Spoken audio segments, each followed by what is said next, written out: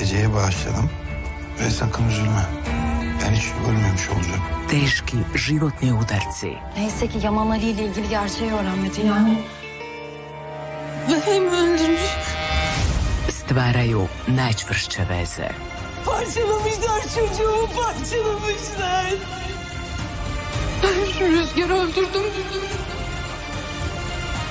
Divlje srce. U utorak nakon serije Zlatni kavez на Новой ТВ.